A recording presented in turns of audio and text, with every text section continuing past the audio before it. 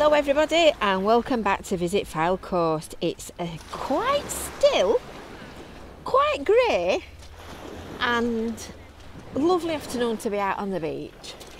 So we're, we're, we're videoing on a Friday for you for this week's vlog with a view, which of course is our wander around a local beach and a discussion about something topical, something seasidey, or something to do with the Fylde Coast because Sundays are special days, aren't they? Sundays are different. So if you're a new new viewer and you've just stumbled on this, don't forget, make sure that you've subscribed and you've hit that little bell. loads of great content, loads of different things coming up, and all kinds of things for you to watch. Keep you entertained while we get to the end of lockdown. So today's is a bit of a what do you think and why do we always come in for a kick in? Type of a type of a vlog because you probably saw on the national news reported at the end of February, sort of last weekish, that Blackpool had been named as the lowest score and the unhealthiest place in the country in a in a survey. So I'll just turn round and we'll have a look along the beach to the great metropolis of Blackpool because it's some, I've just been talking to somebody who informed me that the reason why everything is so clear is because it's quite high pressure, which I didn't know. But now I've, I've learnt something else. But you can see Blackpool in the distance. There it is, looking looking as gorgeous as ever on the on the shoreline. That metal thing in the sea is Mary's shell. That's a piece of public art. And if I just turn slightly to the right, that is Snowdonia. I've just been told. Well, well, well, because you can often see Wales from here, which is quite astonishing. And then across all these acres of grey sea, which all look much of a muchness, at the other side of the horizon, that the other bump that we've been looking at, is the Lake District. So that's your that's your guided tour. And now back to the back to the subject in hand. Apparently, the Office for National Statistics and a financial company called Lane Clark and Peacock, who I have never heard of, did this piece of research. And the reason that they did it was because ministers had asked statisticians if they would assess the health of the nation in a bid to measure the effects of government policy. So off they went and they crunched the numbers and they scratched their heads and all the rest of it. Um, and went away and did this piece of research. So they looked at 149 local authority areas um, and, and kind of went through them all and looked at them all on a on a sort of a graded scale. I'm just we're not actually going to walk into the wall here. We're going through the gap. Mind the gap.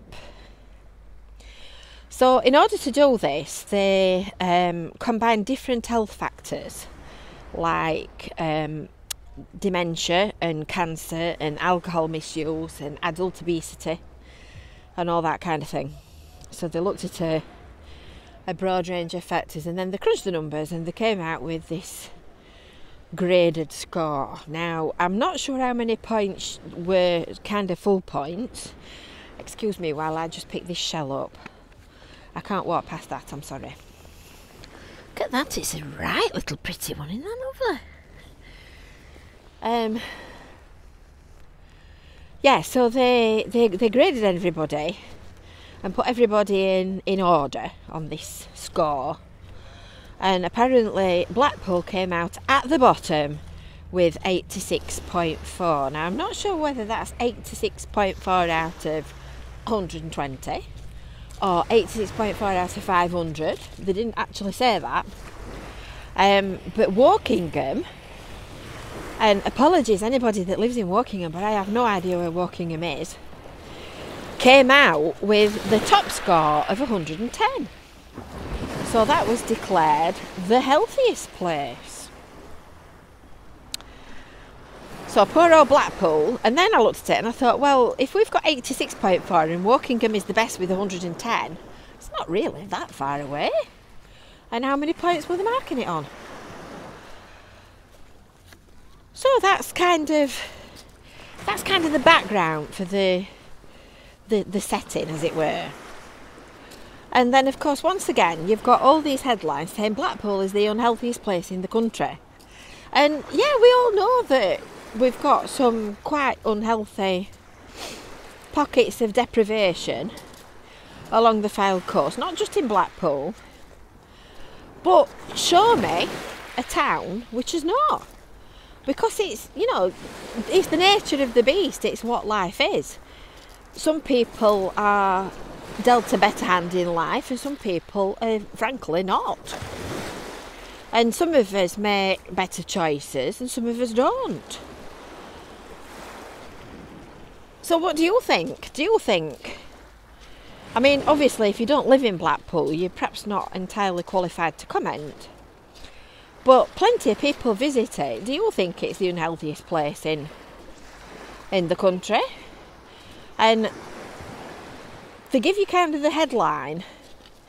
They give you the half a story, and they don't quantify it and tell you whether things were weighted in a particular way or whether there's any particular um, factors that they're taking into account. And and frankly, I think we get quite fed up in Blackpool of being worst for this, worst for that, worst for this, worst for that.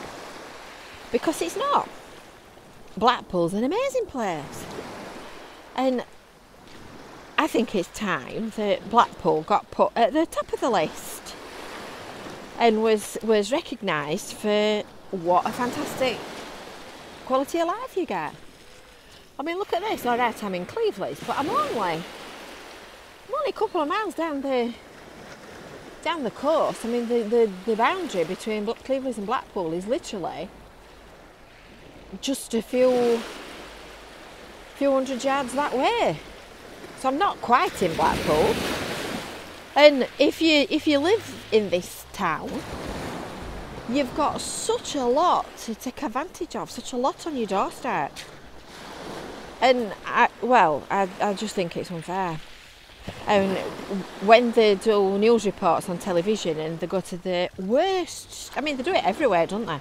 They go to the worst street that they can find and stand there and make it look like it's, you know, wherever it is, is awful. I bet they could do the same with Wokingham if they tried.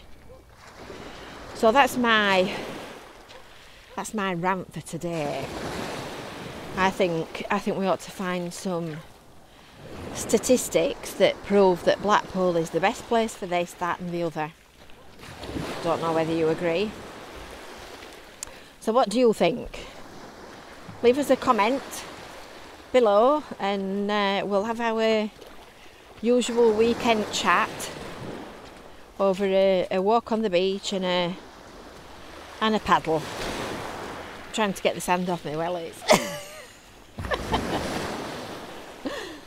so you have a lovely day now, and we will see you on Monday from a, a, a grey but lovely beach. We'll see you later. Don't forget to subscribe. Bye for now.